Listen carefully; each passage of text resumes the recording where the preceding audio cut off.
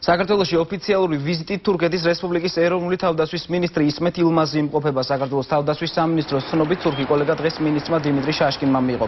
შეხვედრის ოფიციალური ცერემონია საქართველოს თავდაცვის სამინისტროში გამართა. ვიზიტის მიზანი ქვეყნებს შორის ორმხრივი თანამშრომლობის და სამომავლო გეგმების განხილვაა. თურქეთის რესპუბლიკის ეროვნული თავდაცვის მინისტრის ისმეთ ილმაზის ოფიციალური ვიზიტი საქართველოში დღეს დასრულდება.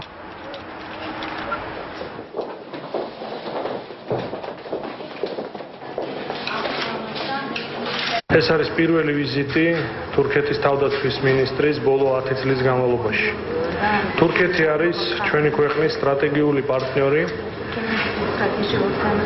მეგობარი, რომელიც ყოველთვის ხარს უჭერს საქართველოს როგორც ტერიტორიული მთლიანობის კუთხით, ასევე ნატოში ინტეგრაციის კუთხით. თურქია გურჯისტანын საქართველოს და თურქეთი არის ორი მეზობელი ქვეყანა, რომელსაც საერთო წარსული აქვს. თურქეთს უნდა რომ ნახოს საქართველოს აღორძინებული, აყვავებული და გარბწყნებული.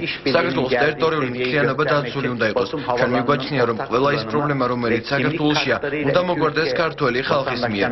ჩვენ ხარს უჭერთ საქართველოს გაწევრიანებას ნატოში. ეს დავადასტურეთ და ვადასტურებთ ყველა საერთაშორისო დონის შეხვედრებში.